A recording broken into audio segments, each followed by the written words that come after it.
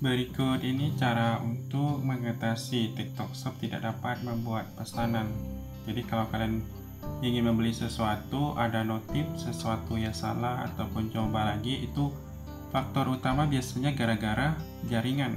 Jadi kita lihat di TikTok Shop ini, terus kita bisa pilih belanja ini langsung kita check out. Nah kalau tidak bisa, pertama mungkin stok dari barangnya sudah habis jadi kalau kita masukkan ke keranjang belanja terus stoknya sudah habis itu tidak bisa.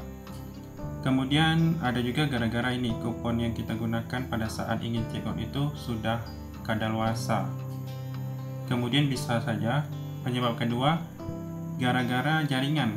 Jadi jaringan yang error itu memang tidak bisa membuat pesanan.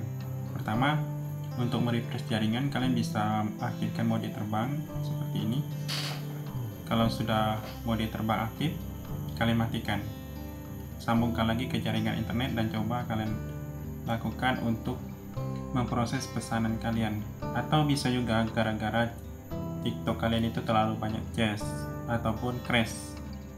Kalau crash bisa kalian tekan lama HP-nya, kalian matikan dulu HP-nya.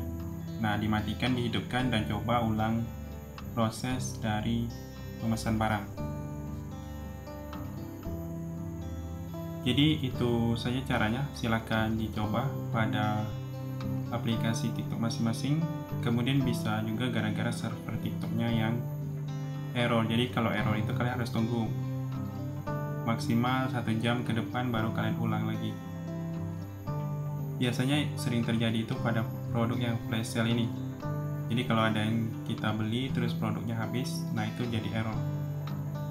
Jadi selalu cek yang namanya stok produk ketika kita ingin check out. Semoga bermanfaat.